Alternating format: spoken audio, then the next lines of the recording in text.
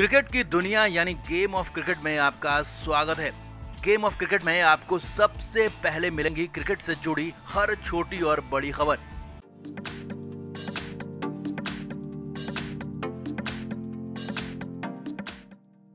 World cup semifinal में चारों टीमें फाइनल हो चुकी हैं, भारत, ऑस्ट्रेलिया और इंग्लैंड, न्यूजीलैंड।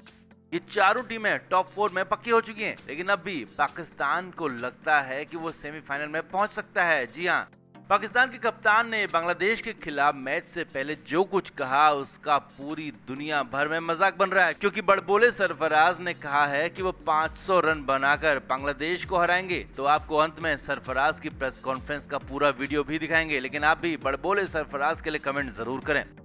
तो पाकिस्तान का आखिरी मैच बांग्लादेश के खिलाफ है। अगर इंग्लैंड की टीम न्यूजीलैंड से हार जाती तो पाकिस्तान बांग्लादेश को हराकर सेमीफाइनल में पहुँच जाता। लेकिन इंग्लैंड जीत गई और 12 अंक के साथ सीधे सेमीफाइनल में पहुँच गई। वहीं न्यूजीलैंड 11 अंकों के साथ भी सेमीफाइनल में पहुँच गया, क्योंकि उसका रन रेट पाकिस्तान से बहुत ज़्यादा है। हालाँकि बांग्लादेश को हराने के बाद पाकिस्तान के भी 11 अंक हो जाएँगे, लेकिन रन रेट में पाकिस्तान बहुत पीछे रहेगा। ऐसे में पाकिस्तान के सामने चुनौती है कि अगर वो बांग्लादेश को 300 से ज़्यादा रन के अंतर से हरा दे तो पाकिस्तान का रन रेट न्यूजीलैंड से बेहतर हो जाएगा और फिर पाकिस्तान सेमीफाइनल में पहुँच जाएगा।